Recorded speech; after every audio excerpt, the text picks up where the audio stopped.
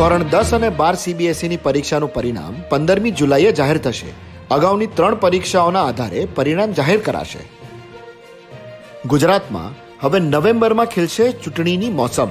છ મહાપાલિકા, છપ્પન નગરપાલિકા, એકત્રીસ જિલ્લા પંચાયતની ચૂંટણીઓ અને તાલુકા પંચાયતોની બસો એકત્રીસ બેઠકોની પેટા ચૂંટણી યોજાશે.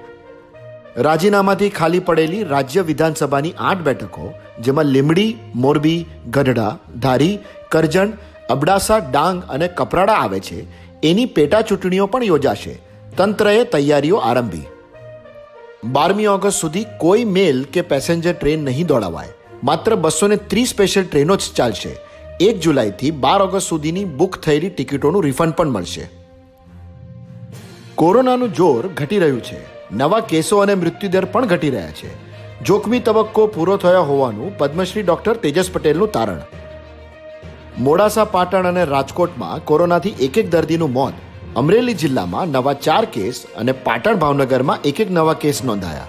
અને વડોદરાની ગોત્રી હોસ્પિટલમાંથી એક દર્દી નાસી જતા શોધખોળ શરૂ થઈ. નવ ગુજરાત સમય સાથે જોડાવા બદલ આપનો આભાર.